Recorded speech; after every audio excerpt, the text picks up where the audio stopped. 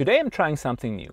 First off, I'm doing a video in English, and second, I'm reviewing my own car. This 2002 Mercedes SL55 has been my own car for two years. And I've decided it's about time to sell it now because I'm a car guy and I want something else. And in the same moment, I think it would be interesting to tally up all the costs I've had in this car and do like a little total cost of ownership calculation. So I will, we will start the video with me driving around and reviewing the car and at the end we will come back back here and I will basically show you a list of all the items I've had with the car, all the expenses, how much it cost me to run it, and in general talk a bit about car ownership in Switzerland. So, thank you and enjoy!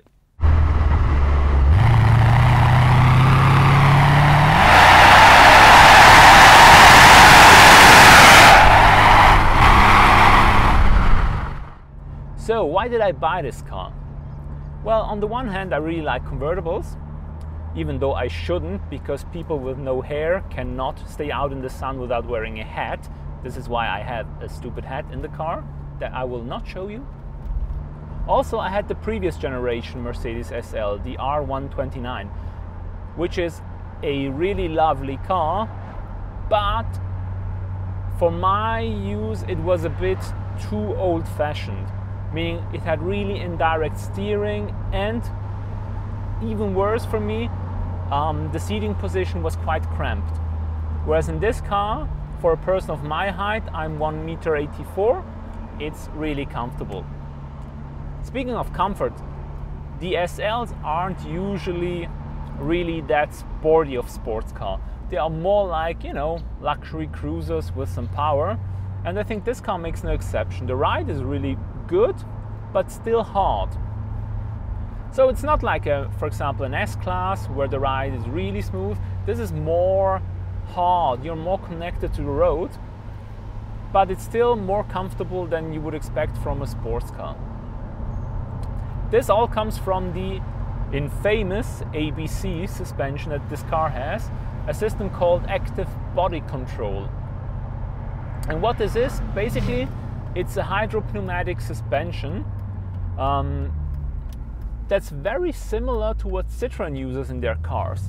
In fact, this car can be raised and lowered by I think about 6 centimeters on the push of this button, which is very handy since it is a relatively low car and if you go up a curb or something like that you can raise the car, great.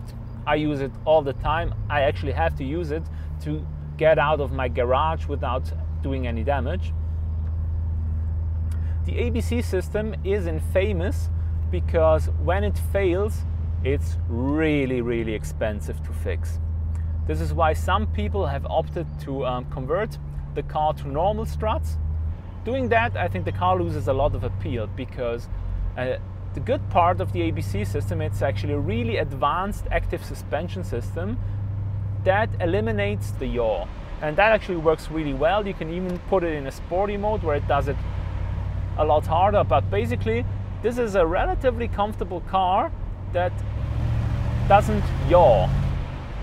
Speaking of expensive maintenance, this car, when it came out in 2002, it had the world's first electronic brakes, a system called SBC, the Sensotronic Brake Control which means the brake pedal is not physically connected to the brakes. It all happens through a pump and electronics, which means whenever this pump fails, and it will fail, because the pump has a certain number of actuations it allows, and once that is reached, it will basically put a message on the display saying, okay, brakes service needed, and then you have to replace the pump. The pump cannot be reconditioned. Um, it could be resetted, but if you reset it, it might fail at some point. So that's an expensive maintenance item that needs to be handled at some point, needs to be tackled at some point. The brakes, while being electronic, they still deliver a really, really good pedal feel. And they are very nice and modulable. It's they're really good brakes. This being an older Mercedes, everything is operated by vacuum, meaning the central locking system, it works by vacuum.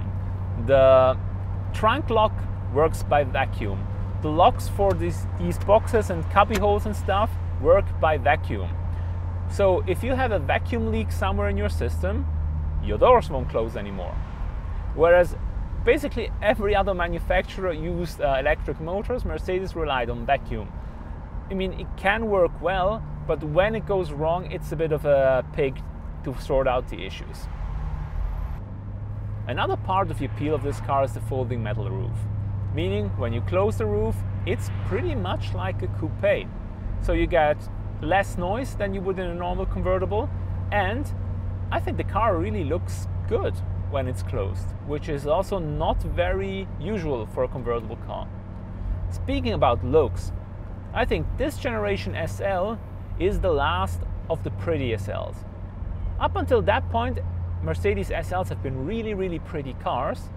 But then, already when they facelifted this, made it square up front while remaining round at the back, it kind of created an imbalance. And at some point, with the next generation, they actually managed to do a car that's actually uh, ugly. So, yeah, there is a point to speak for this car. But of course, it was designed by an Italian, legendary Mercedes designer Bruno Sacco, which in Italian literally means brown bag. Still, a very, very good designer if you ask me, and he did some really timeless designs for Mercedes Benz. Another reason why I bought this car, of course, was the AMG engine. This car, being an SL55, has a 5.4 liters V8 engine with a supercharger it produces 500 horsepower.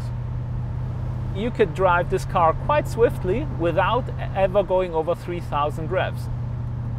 But even if you go over 3000 revs, the engine keeps on delivering. It's actually really nice because it's a rather large engine that still manages to rev, manages to be fun at high revs.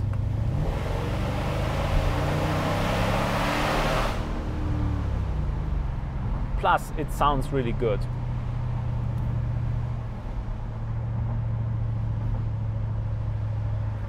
Handling wise, the car handles well, but it is a heavy car. It's almost two tons, and you feel it when you drive it. I mean, it doesn't give you the feeling of being light and nimble, it gives you the feeling of being like heavy, but at the same time, the car can handle really nice but it's not necessarily instilling you the confidence to drive it at the limit. Another thing that also, in my opinion, limits drivability is that this car does not have a limited slip differential. Because, I mean, only Mercedes Benz can think it's a good idea to build a 500 horsepower car and not equip it with a limited slip differential. That's insane. I mean, sure, the car has ESP and ASR and all sorts of traction control gadgetry, which means you will probably not spin out in this car if you don't drive it like a fool. But also, when it's rainy, when it's slippery, when even in the middle of a corner on a dry day, the car has trouble putting the power down. So the electronics will cut the power and you will not drive as fast or as well as you would actually like to do. The SL55, when it came out, it was the first Mercedes road car with like shifting buttons or pedals or whatever you want to call those on the steering wheel to um, change gears for the automatic transmission. And it's funny because this is so common nowadays, but back then it was such a novelty that they actually had to put these like plus and minus signs on the steering wheel to show people like, ooh, here you can you can go into a higher gear, here you can go to a lower gear. So like, wow. And it works okay. If you drive like a curvy road like I'm doing now, it's good. You can pre-select your gear and it will hold that gear until the rev limiter. Then it will automatically shift. But basically, it's basically meant for pre-selecting your gear rather than for doing quick shifting because it doesn't shift quickly. I mean, if I shift now, now the gears changed. So yeah, there's a lot of delay. You shouldn't like use it like a dual clutch transmission or maybe like a modern automatic transmission, but it's still workable for pre-selecting the gear. I know there's a tight corner, I shift down and then the gear is ready. I can do the corner, lose some traction and then shift up. The funny thing is, if you want to use the buttons on the steering wheel to change the gears, you basically have to put it into manual mode. Because if you're in automatic mode, like I'm now, the buttons do nothing. You have to go to winter, then to manual mode, and then you can shift gears manually. Again, this is an old car and this is basically where it mostly shows. But I think for the type of car, it's okay because most of the time the automatic transmission, it's a 5 speed, will do a really, really good job. In normal driving, you'll almost never drive with the buttons. And when you drive on a nice curvy road like I am, they work fine. It's just, it's not suited for maximum attack, and because in general, this is not a maximum attack kind of car. This is a car you drive more leisurely, you enjoy the sound, you enjoy the power, you just have a good time. And I think in this regard, the car is very, very capable. As a matter of fact, this is in general a very, very capable car because in the two years that I've owned it, I basically used it as a daily driver in the summer. I wouldn't want to drive this car in the winter because of the problems I mentioned before with the traction. As, soon as it's slippery, as soon as it's icy, the car has serious, serious traction issues. And in Switzerland, you know, winters can be a bit harsher than maybe in Southern California. On the other hand, if it didn't have these traction problems, I think this would be a really, really good winter car because actually, like all Mercedes convertibles, it has a really, really, really good heating system. Meaning it heats really quickly and really well, which is, of course, needed if you have a convertible because you might want to drive it with the roof open even when the weather is not that great. And due to the good heating system, due to the good heated seats, a Mercedes SL is actually a convertible you can drive with the roof open if you close the windows like I do now, even when it's like 10 degrees outside Celsius. Again, this I think is a very, very competent car. Not only is it like fun to drive, enjoying the, the sun, enjoying the weather, the sound of the engine, but also you go on the motorway, you close the roof, and it becomes a very, very capable long distance cruiser. I've been to Italy twice with it, driven like 1,200 kilometers a day, and it's been really good. Well, except that in, on both trips the car had to come back on a, on a flatbed, but that's a different story that I'm gonna tell later on. It's, in general, it's a really, really nice car. I think also the interior, it looks very nice. It's made with nice material. It's all leather and, well, probably leatherette on the lower part. And for a 16 year old car, I think it held up well. What didn't hold up so well, of course, is the infotainment system. I mean, yeah, it's a CD based navigation system. And uh, the last map update, I think, is from 2010. So it's pretty much useless. I usually just use my phone for navigation, much better. The SL55 also comes with the AMG Sport seats, which are like really, really comfortable seats that actually hug you in the right places, they hold you in well, and they are you know, adjustable in every way imaginable. What's also nice, they are cooled, they are heated, and they have a massage function. Even though I have to say, the massage function, not great, especially if you've driven one of the more uh, recent Mercedes, like for example an, uh, a recent E-Class with the AMG seats. Those seats have amazing massages. Anyway, it has it, better than nothing, and of course, all the massage is vacuum operated. So it's operated by the same pump that operates the uh, central locking system and the, the boot. Kickdown.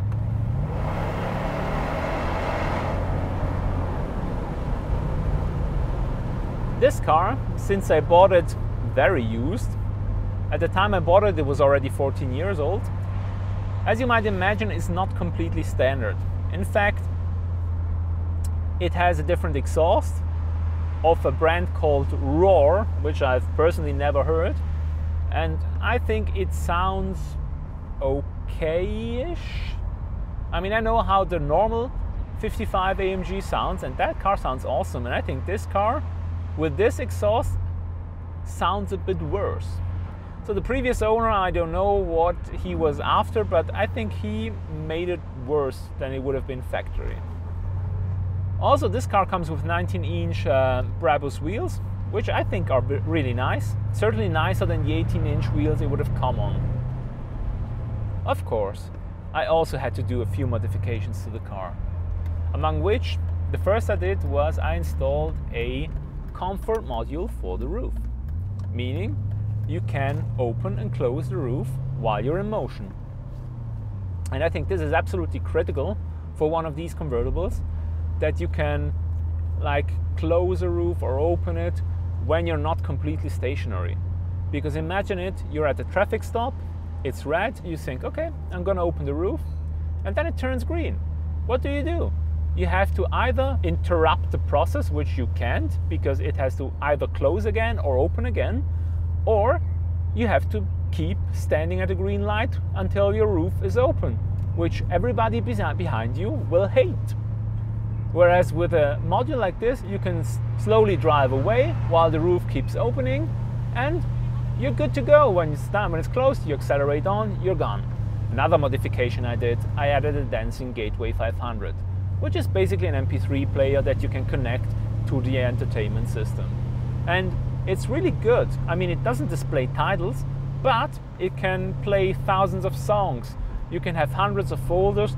You just have to be really organized and you know have it alphabetically because otherwise you will never find a song but i think that makes it so much more usable because nowadays if you have a car without bluetooth without um, mp3 cap- capability it's not really great. This SL used to come with a Nokia cell phone. So it actually had the Nokia 6210 cell phone that you can put into a holder here. Thankfully there's a company called Viseeo. They make Bluetooth adapters that fit into those Nokia 6210 cradles, and then you can connect your smartphone via Bluetooth to it and use the car's inbuilt hands-free phone, which is really good thing. Makes, again, an old car like this usable with modern devices.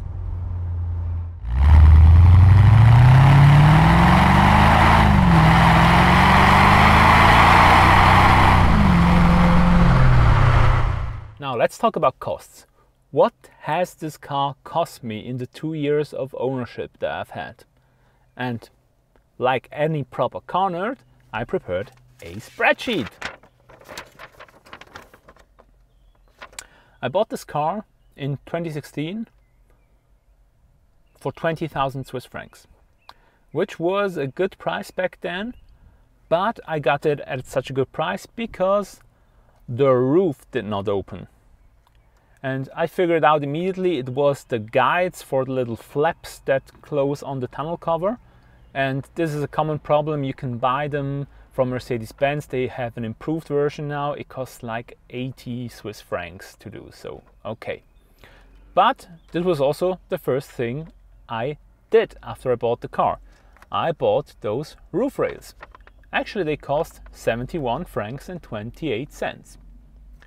I did Actually, another thing I did immediately after buying it, I removed the automatic shifter and removed the um, shifter lock because Mercedes Benz of this vintage, this shifter, the shifter lock that prevents you from changing into, into gear or into neutral when the car is uh, locked, it's made out of plastic and it breaks. And when it breaks, you won't get the car out of park anymore. So since mine was starting to break, I had to wrestle the car out of park. I decided to remove it immediately in order not to remain stranded. I then, later on, I bought a replacement lock, one made out of metal, and installed that. That shifter lock cost me 52 francs. because I installed it myself and it was a pig. And I did it twice. But anyway, now it's perfect. Shifter lock is in it. The car is alright the way it should be and it's made out of metal. It should never break again. Then I bought the Dension Gateway 500, the MP3 player for the entertainment system. That was 272 Swiss francs. I bought the comfort module for the roof to allow it to open and close while in motion. That was 250 Swiss francs. Also, this is all right after buying the car. One of the side covers on the side of the rear windshield was uh, had a crack in it, so I replaced that. That was 102 Swiss francs. In September of that same year, I had to buy new tires because when I bought the car, it came with tires that were like not in great condition, but you know, in at the beginning of, of, August, I looked at them and said, yeah, you know, I'm going on holidays with those, and then when I come back, I'll replace them. Yeah, turns out I should have replaced them before because while I was driving back from Italy, tire blew on the motorway. Nothing happened. I, I, I parked the car on the side of the road. Everything was good, but I had to drive home in a rental car because of course it was a Sunday and 275 millimeter tires were not available and yeah I had to work the next day. So the car came back on a trailer about four weeks later and I bought a new set of tires, good Bridgestone S001, it uh, cost me a thousand francs, fitted everything, yeah that's what it is. What I did also as a preventative maintenance, this car's ABC system, I was pretty sure it had not been maintained so I actually flushed all the hydraulic liquid and uh, installed a new filter. That it was a DIY job. It was very easy.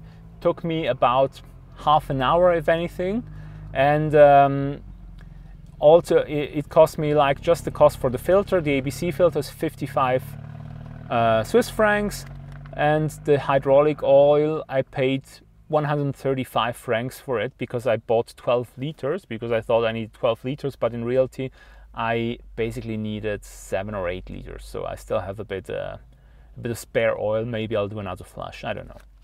Um, I also bought some random clips for like eight francs to hold like trimmings in the trunk. And um, in August 2016, I did an AC service because my air conditioning wasn't blowing cold anymore. So it needed a refill and um, like a valve replaced. That was 226 Swiss francs. I upgraded the number plate uh, lights to LEDs because they were cracked anyway and I needed new ones. So I got the LEDs, which are legal. They have the E sign and stuff. It cost me 26 Swiss francs. Then in July 2017, I did a large service. Mercedes calls it the Service ASSYST A, which is like the daddy where you change your spark plugs and oil and everything. That was also, we found that one tracking arm actually was worn out, so we replaced that. And all in all, it cost me 2,027 Swiss francs. Then I went again on holidays in Italy with the car and on the way back, again, I had to break down by the side of the road because the car turned off while driving. So the engine just shut off while I was on the motorway. I just coasted into an emergency bay and then basically the car wouldn't restart. Um, it was uh, again I got a I got a rental car, drove home with it, and then the car came back on a trailer like four weeks later. Turns out the supercharger clutch had failed. Supercharger itself was fine, but the clutch that engages and disengages the supercharger had um, broken it, basically had shorted whatever it did.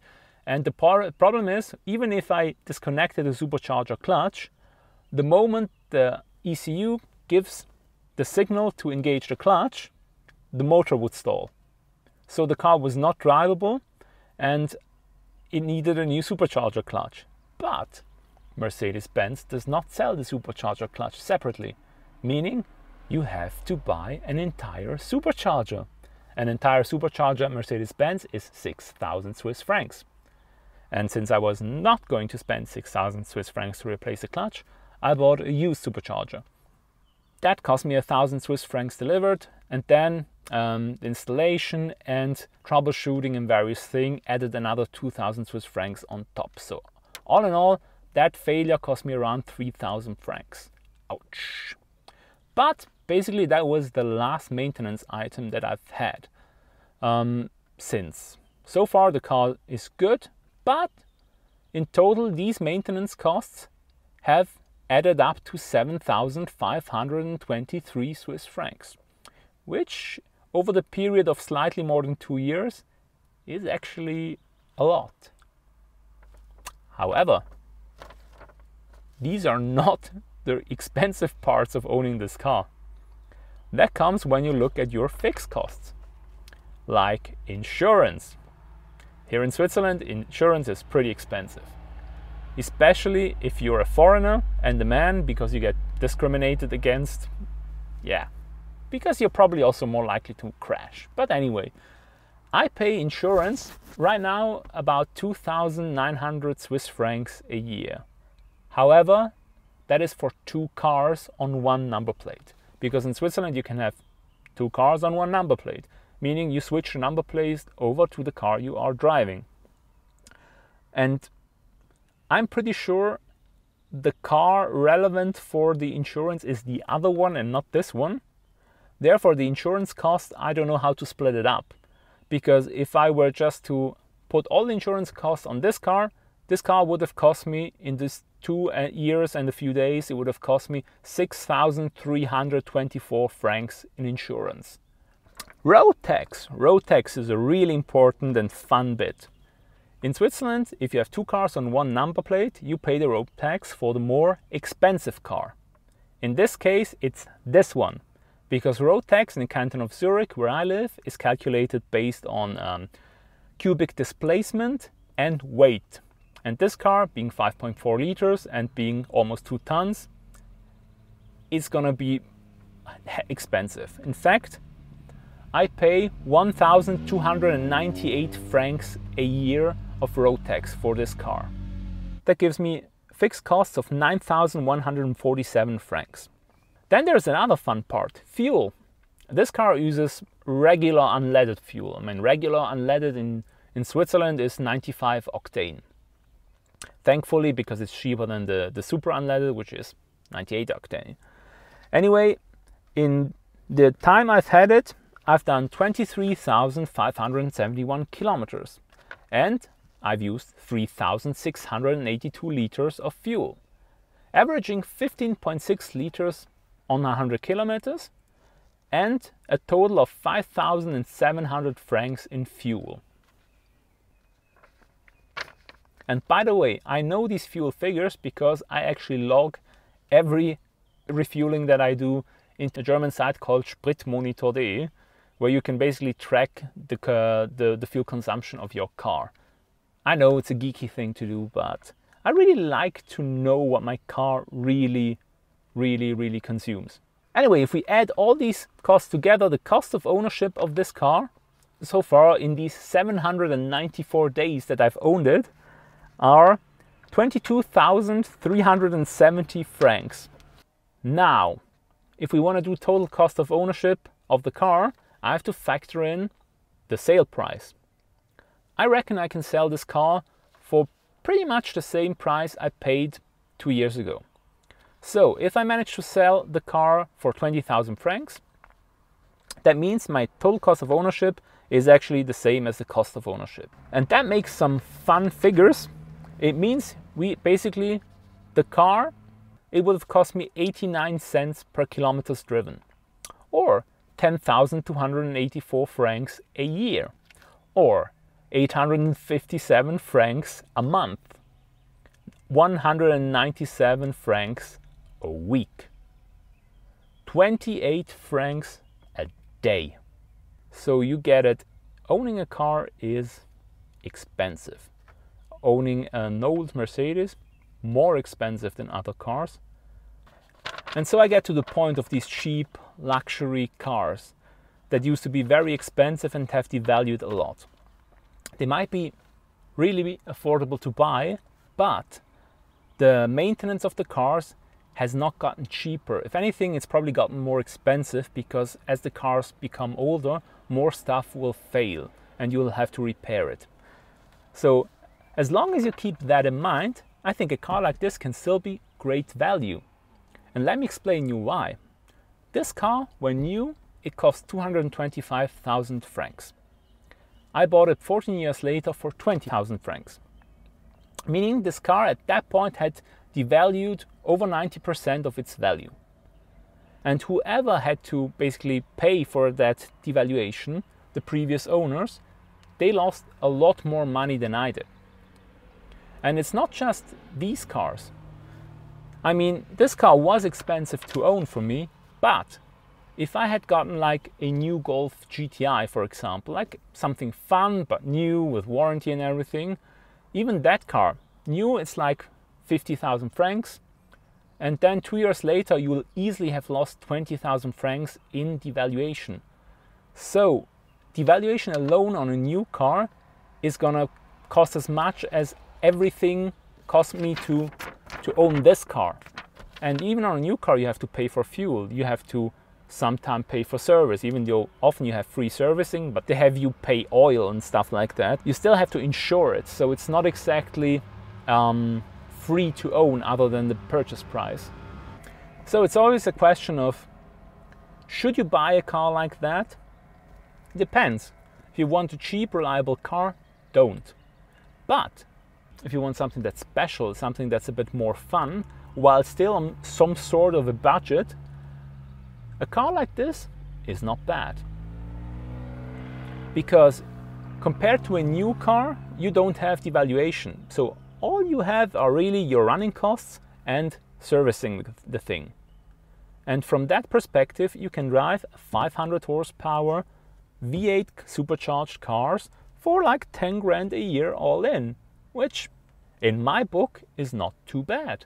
Because I reckon even a Prius, if you buy like an old Prius, if it's um, if nothing ever breaks, I mean it's a Toyota, and um, all in all, with the same mileage that I did, it would have cost me like three and a half thousand francs a year.